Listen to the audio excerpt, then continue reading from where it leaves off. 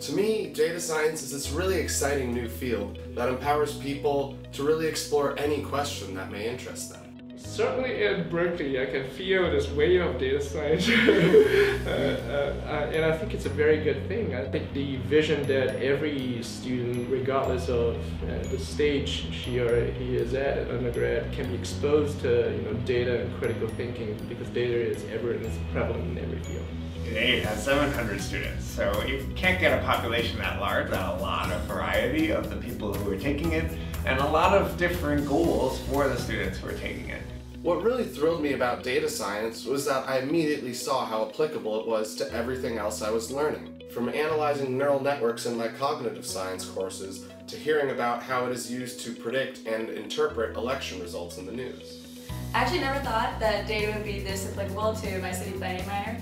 Currently in the class, I am working on a project analyzing data on the happiest cities in America, scraping information from sites like Yelp and Google to determine location of coffee shops and parks, and figuring out that determines the happiest parts of the cities in America.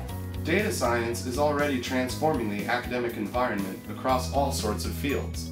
Historians now have the ability to read previously illegible documents, and ecologists can model populations at much larger scales. The students who are working on data science are often really trying to find connections to whatever else they're studying.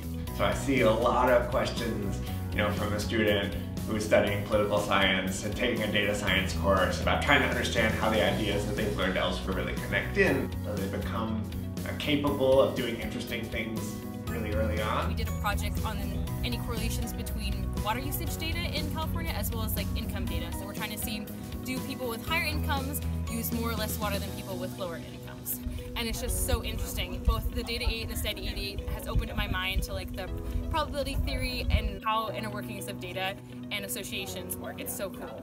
So it's a really powerful way to get the underlying truth of what's going on in the world around us.